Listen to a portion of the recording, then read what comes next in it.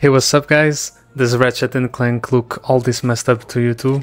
So actually I got a quick fix for this. It's very very simple and it's so weird that it, it works but you see Clank with all these messed up textures and also that uh, thing on the wall just bugging out. Well the fix is quite simple and we'll also fix the brightness issue. So let's just close the game go to our emulator. Then we're going to create a shortcut just to make things easier. So you just press this create shortcut and for me it created immediately on the desktop. So now you just go to your icon right click show more options since I'm in Windows 11 which should be this properties one. Compatibility enable this box right here select Windows 7 apply okay run it. And this random thing actually improves all of those exploding characters. I have no idea why but it works.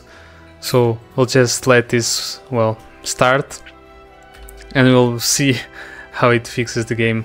And I'll also show you how to fix the brightness issues at least for now. So let us continue the game. Exactly where we, we were before and you'll see Clank looking much prettier.